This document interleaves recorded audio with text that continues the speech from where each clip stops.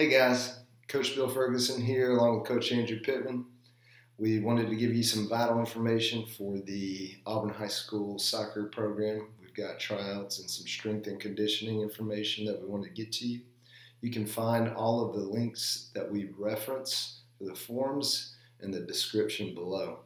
So the, the first thing you need to know is that the tryouts are going to be from uh, December 7th through 10th at Duck Samford Stadium. The women's team will be trying out from 4 to 6 p.m., and the men's program will be trying out from 6 to 8 p.m. So, in order to try out, one of the forms is going to be a tryout interest form. So, you're going to want to click on that and follow the, the instructions that tell you that we're going to get um, not only some identifying information, but it helps make sure that you've done what you needed to do prior to trying out.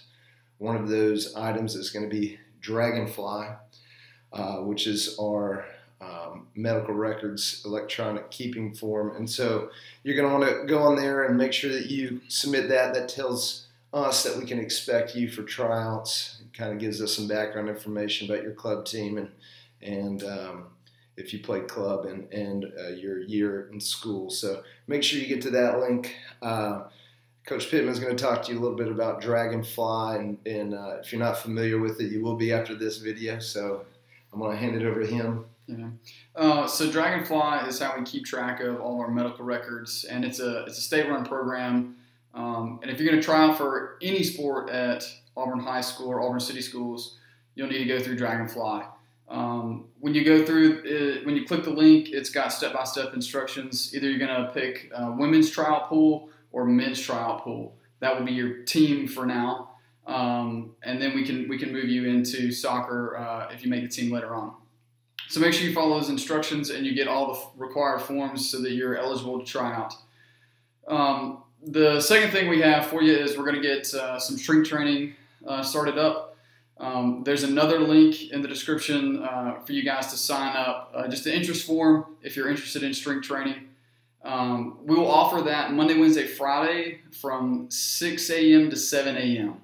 Um, the reason it's a little earlier this year is because we do not have access to locker rooms uh, due to COVID. Um, so we want to make sure you guys have all the time that you need to leave training, go home, eat breakfast, get changed, and get back to school on time. So uh, fill that out if you're interested in doing that. It's by no means a requirement for the program. It's just an option uh, for you to get better um, with your with your strength training.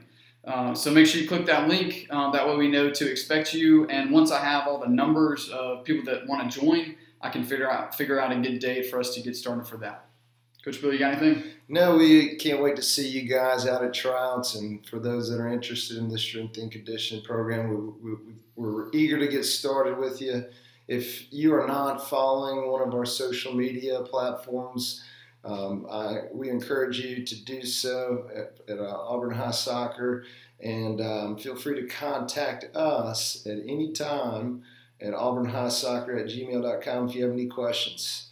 We love you guys. Thanks and go Tigers.